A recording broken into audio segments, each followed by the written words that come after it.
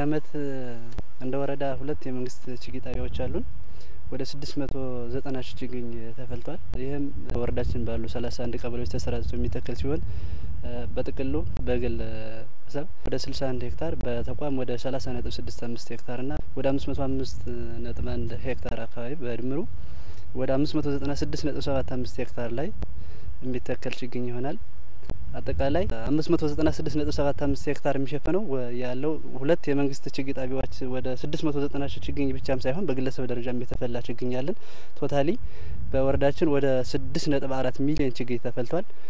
ስለዚህ የስድስት ነጥብ አራት ሚሊዮን ችግኙ ወረዳችን ባሉ ሰላሳ አንድ ቀበሌዎች በአምስት መቶ ዘጠና ስድስት ነጥብ አምስት ሄክታር ላይ የሚተከል ይሆናል ማለት ነው። እንግዲህ እነዚህን ችግኞች ከሰኔ አስር ጀምረን ለማሰራጨት የመኪና ጨረታ ውል ተልኳል። አሁን በሚቀጥለው ከአስር ጀምረን ስርጭቱን እንጀምራለን ባሉን ሰላሳ አንድ ቀበሌዎች ማለት ነው።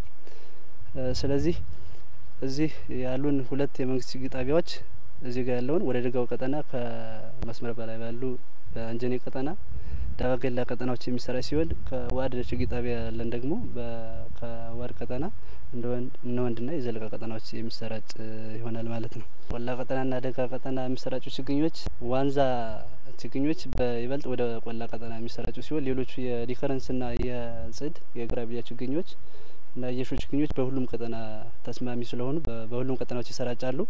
ችግኞችን በምናሰራጭበት ጊዜ የሚተከልበት ቦታ ድረስ ተጠቃሚው በአርሶ አደሩ ቦታው ድረስ ሄዶ የሚተከልበት ሁኔታ አለ። እንደ ወረዳ ወደ ሀያ ሺ ሰባት መቶ ስልሳ ሶስት ተጠቃሚዎች ተሳታፊና ተጠቃሚ ናቸው።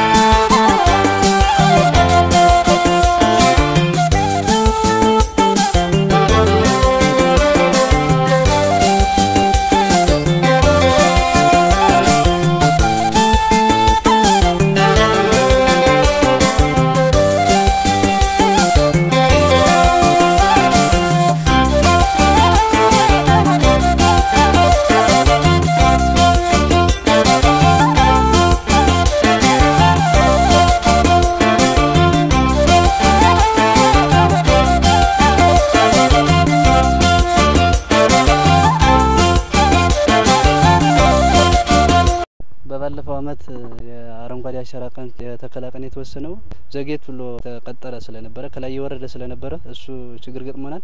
ዞሮ ዞሮ ግን እንደኛ ከዛ ከሀምሌ ሀያ ሁለት በፊት ከሀምሌ በፊት እስከ ሀምሌ አምስት ድረስ ነው እንደኛ እንደ ወረዳችን ችግኞች ተተክለው ማለቅ ያለባቸው ብለን ደግሞ ያም የምናደርገው የምናደርገውም ከዚህ በፊት እሱን ነው የምናደርግ። ዞሮ ዞሮ ከላይ የወረዳ አቅጣጫ ስለነበረ አሁን በዚህ አመትም የአረንጓዴ አሻራ ተከላ የሚሆን ወደ ሁለት ነጥብ ሰባት ሚሊዮን ችግኝ የዛን ቀን ይተከላል ተብሎ ይታሰባል። ለዚህም የሚያስፈልግ ችግኝ የተዘጋጀ ስላለን እንግዲህ በአሉን ሰላሳ አንድ ቀበሌዎች የአረንጓዴ አሻራ ቀን ለማስተከል ቅድመ ዝግጅት ላይ ነን። የጉድጓድ ዝግጅትም እየተቆፈረ ያለበት ሁኔታ አለ። እነሱ ባስቀመጡት ቀን የዛን ቀን ለመትከል መትከል የምንችልበት አጋጣሚ አለ። ዞሮ ዞሮ ግን ከዛም ቀን በፊት እኛ የምንተክላቸው በመደበኛ ተከላ ስላሉ ከዛ ከሐምሌ አምስት በፊት ለማጠናቀቅ እንሞክራለን። ለአረንጓዴ አሻራ ተከላ የሚሆኑ ቦታዎችን ግን ለይተን የጉድጓድ ዝግጅት ከአሁኑ ተቆፍሮላቸው በሚባልበት ቀን ለመትከል ዝግጅት ላይ ነን ያለን። ወደ አምስት ነጥብ ስምንት ሚሊዮን ችግኞች አካባቢ ባለፈ አመት የደን ችግኞች ተፈልተው ወደ አምስት ነጥብ አንድ ሚሊዮን አካባቢ ችግኞች ተተክለዋል። ከነዛ ውስጥ ወደ አራት ነጥብ ሁለት ሚሊዮን አካባቢ ጸድቋል። ወደ ሰማኒያ percent አካባቢ ጸድቋል። ዞሮ ዞሮ ግን አንዳንድ